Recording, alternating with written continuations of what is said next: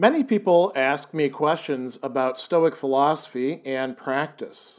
I've created this series to provide short answers to the most common, recurring, or confusing questions about Stoicism.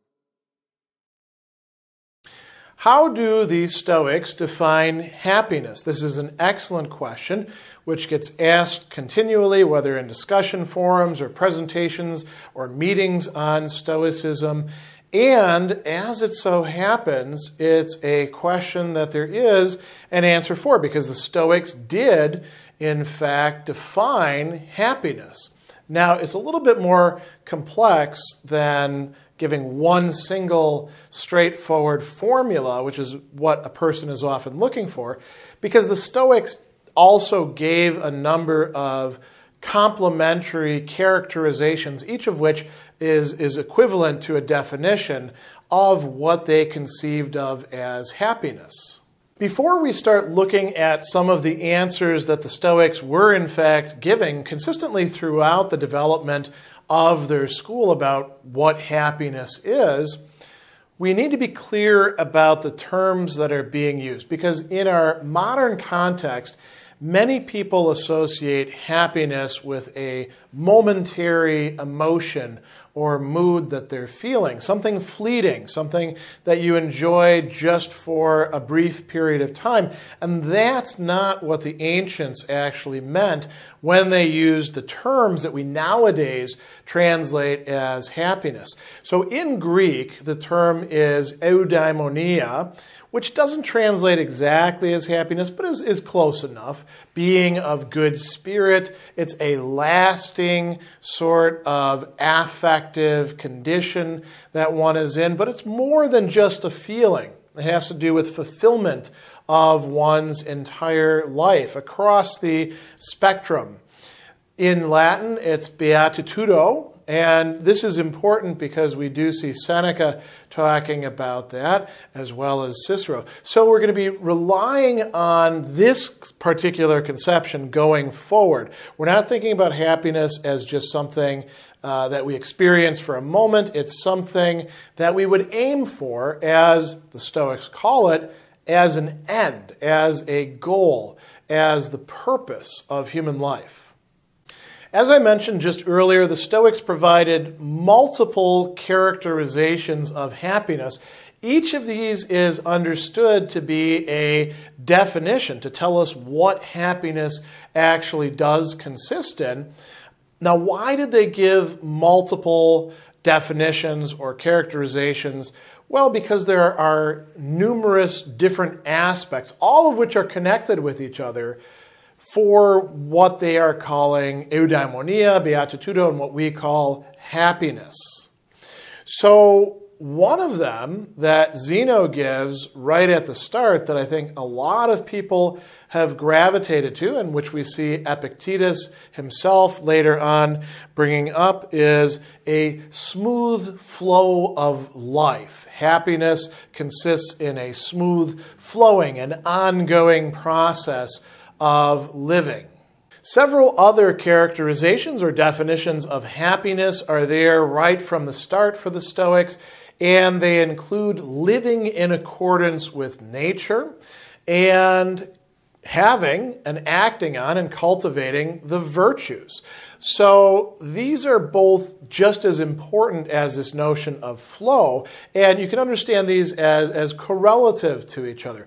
By developing, by acting upon, by valuing the virtues, these, these, these great states of character or human excellence, as that which really matters the most, that which has to be given the top priority, one will enjoy happiness. And it's not simply as a result of virtue. To be virtuous, to live virtuously, is to be happy for the Stoics. The Stoics viewed themselves as differing from some of the other virtue ethicists of their own time in laying this almost exclusive emphasis upon the sufficiency of virtue to make us happy.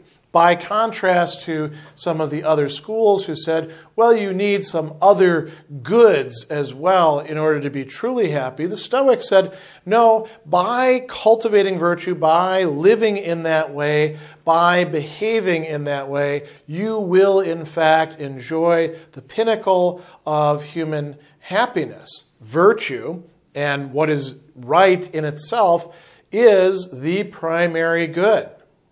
Now, one of the later Stoics, Seneca, actually wrote an entire treatise on the happy life. And if you look at part four of it, you see him talking about the ways in which we can define the happy life, which allows us to define happiness. And he tells us that it can be defined in, in multiple ways precisely because of not how complex, but how interconnected the parts, or, or, not even parts, aspects of happiness are. He says, Our highest good may also be defined otherwise. That is to say, the same idea may be expressed in different language and he gives a metaphor. Just as the same army can be expanded and contracted, we can do the same thing with our conceptions, with our language. We can direct it towards virtue, towards flow, towards living in accordance with nature, towards fulfilling our duties, towards all these other things that fit into the notion of happiness. And he does give us a nice characterization there by saying we can define it in, in multiple ways. Here's one way that we can define happiness. We can say that man is happy who knows bad and good only in the form of good or bad minds, who worships or celebrates honor and is satisfied with virtue who is neither puffed up by good fortune nor cast down by evil fortune, who knows no other good than that which he is able to bestow upon himself, whose real pleasure lies in despising pleasures. there's a lot involved in that.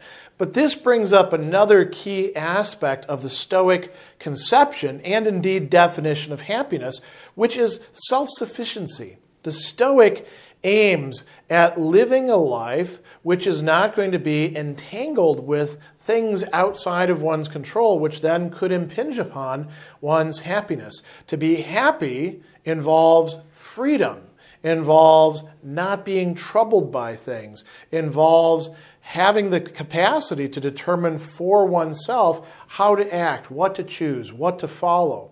So, all of these are very important aspects of the Stoic conception of happiness.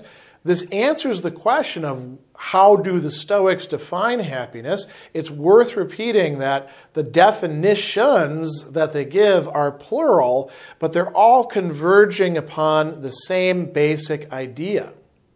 I think it could be useful to bring this to a close to talk about some of the places where you can go to find out more about this.